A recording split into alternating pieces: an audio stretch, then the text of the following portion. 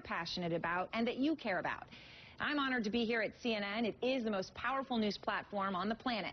And getting ready for this opportunity has been a lot of work for our team, work that we honestly love.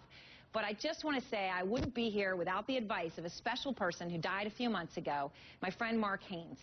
Mark was my TV partner for five years, my mentor and my friend. He gave me my first shot, and he made journalism a joy for me. Mark's intolerance for talking points and his fun-loving personality were out front.